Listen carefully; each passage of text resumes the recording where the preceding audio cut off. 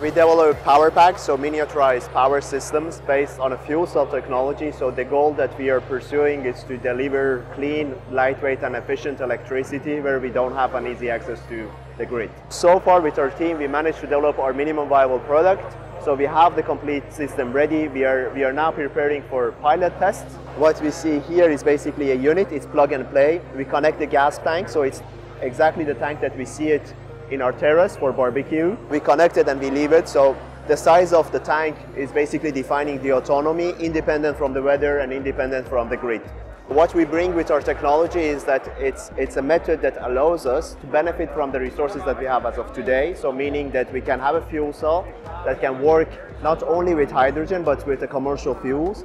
And we believe that this will help us to go step by step towards green energy transition that any of us should contribute in it. Basically what we are looking now is to, to find partners who are willing to first make a, a move toward green energy transition who are really seeking for reliable power sources that can deliver connectivity truly everywhere by, by enabling people to benefit from 24-7 network. So we are looking for those customers to implement our technology together, in, incorporate their ideas into our product, and basically prepare for, uh, for the next big move in energy transition.